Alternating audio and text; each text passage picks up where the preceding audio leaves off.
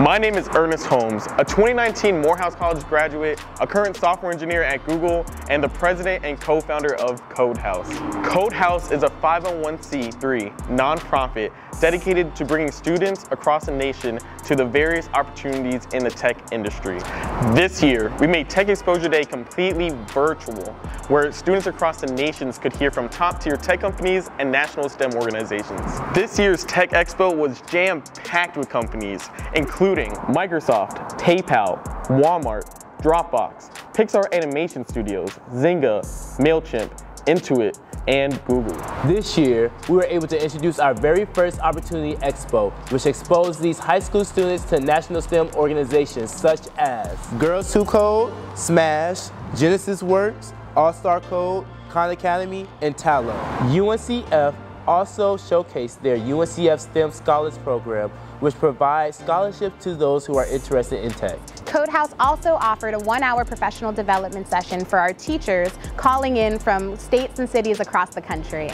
We had over 160 teachers register their classrooms at the last CodeHouse event. In our professional development session, we heard from CodeNext, Khan Academy, College Board, the California CS Project, and many more organizations, all there to give resources and share initiatives with our teachers. During the HBCU portion of our event, students were able to connect with admissions officers from Morehouse and Spelman. Students were also able to hear from current and alumni of Howard University, Morehouse College, and Clark Atlanta University. During this panel, students were able to learn about not only varying roles in the tech industry, but also the HBCU experience and how it's unique from any other. During CodeHouse's virtual Tech Exposure Day, we gave out $30,000 worth of prizes and scholarships to students across the nation, including a $10,000 scholarship to Tiffani Graves from Forest Park High School in Atlanta, Georgia, two Nintendo Switches sponsored by Walmart, three 16-inch MacBook Pros provided by PayPal, and three Xbox Series X's sponsored by Microsoft, and many more prizes. This year, we had over 5,000 students registered from across the nation, from states including Wyoming, Montana, Louisiana, California, New York, Seattle, Oakland, Chicago, Indiana, Mississippi, South New Carolina, Jersey, North Carolina, and many more.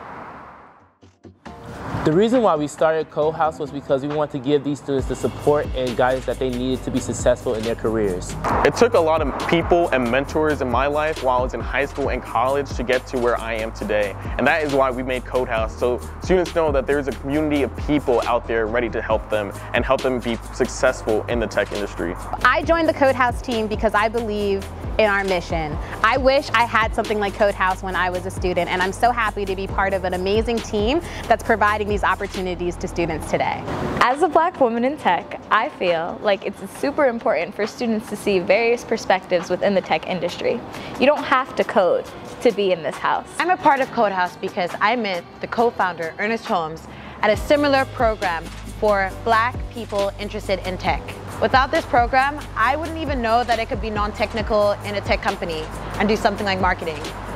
So I would like to provide this opportunity for black and Latinx students that look just like me. A lot of students aren't granted the opportunity to have a six-figure job, to be able to work in the industry, but we want to give these students the idea and motivation that they can do it.